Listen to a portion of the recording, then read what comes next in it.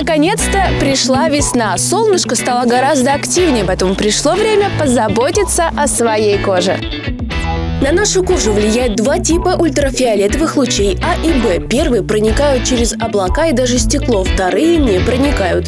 Лучи типа А могут привести к фототоксическим реакциям, например, такие как аллергия, крапивница. Лучи типа Б у нас приводят к фотостарению, то есть к образованию морщин, к образованию э, злокачественных новообразований кожи, такие как меланома, это рак кожи. Кожу необходимо защищать SPF-кремами. В их компоненты входят солнцезащитные фильтры.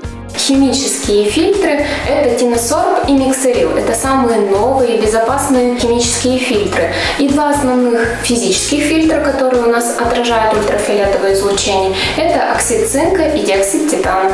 Физические фильтры безопасны для нашей кожи и хорошо отражают ультрафиолетовое излучение, но не лучи типа А и могут пачкать одежду. Химические фильтры блокируют весь спектр ультрафиолетовых лучей, но проникают через кожу и образовывают свободные радикалы. Тут выбор за вами, но отдавайте предпочтение космецевтике. В недорогих кремах могут содержаться вредные компоненты. Спирты, диметикон, силиконы, продукты нефтепереработки – это все неблагоприятно скажется и обладает комедоногенным действием удовольствием, чем и грешат, к сожалению, масс-маркет.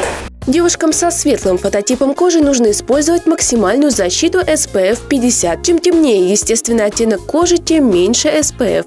Таня, за какое время до выхода необходимо наносить солнечно-защитный крем? В идеале это, конечно же, делать заблаговременно, примерно за час до выхода из дома нанести солнцезащитный крем. Также основная проблема – недостаточное количество нанесения SPF крема. Рекомендуется на лицо наносить одну треть чайной ложки. На какие зоны надо? Вот лицо точно, да? Обязательно э, лицо, обязательно веки. Не забывай про уши, шею и зону декольте. Также очень часто забывают про кисти. Мазаться солнечно-защитными кремами нужно через каждые 2-3 часа. Если вы уже намазались тоном, то можно в качестве защиты применять спрей. Не забывайте защищать свою кожу. А также надевать солнечно-защитные очки.